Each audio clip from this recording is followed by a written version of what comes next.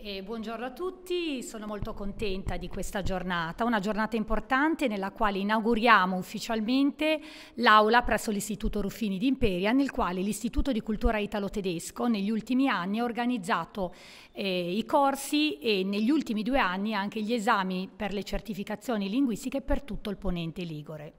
È un momento in cui andiamo a rafforzare i legami tra i nostri due paesi, l'Italia e la Germania, legami già in essere grazie al al gemellaggio che la città di Imperia con la città del lago di Costanza di Friedrichshafen, un legame importante che già due anni fa, in, nella fase più acuta della pandemia, i nostri due presidenti, Frank-Walter Steinmeier e Sergio Mattarella, sono andati a rafforzare ulteriormente, andando a sottolineare quanto la solidarietà tra due paesi fosse importante per superare un momento di crisi, ma fosse altrettanto importante al fine di creare un'Europa unita, un'Europa solidale solidale e un'Europa orientata al futuro.